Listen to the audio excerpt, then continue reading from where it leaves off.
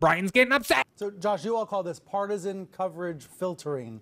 Um, and it, basically, you're proving what we've sensed for a while, which is Fox viewers are in the dark about bad news for the GOP. That's right. Fox and CNN cover different issues, and Fox News predominantly covers issues that, that make the GOP look good and, and make Democrats look bad. And, and on the flip side, CNN engages in this partisan coverage filtering as, as well that we find. How dare you? For example, during this time, the Abraham Accords George were signed, and these were the agreements where Israel, the UAE, and Bahrain signed a, a major peace agreement. And we see that Fox News covered this really major accomplishment about 15 times more than, than CNN did. So we established both networks are, are really engaging in this partisan coverage filtering. It's, it's not about one side, it's about the media writ large. I think you're engaging in some both sides. I think you're engaging in some both sides, isn't there, Josh?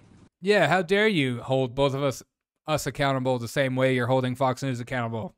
That's preposterous. not trying to lay out a, a moral equivalency. It's, it's not about what an objective standard is. It's really about how all networks do engage in this. And in order for viewers to get a, a realistic picture of the world, we, we need viewers to see all types of information. And unfortunately, Imagine what we find in this study is that the viewers don't want to engage in, in watching all sides.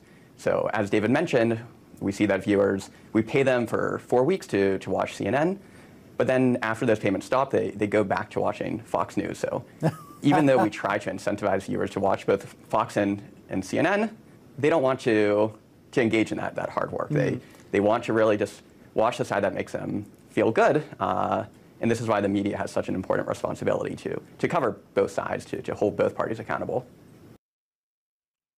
Wow. oh,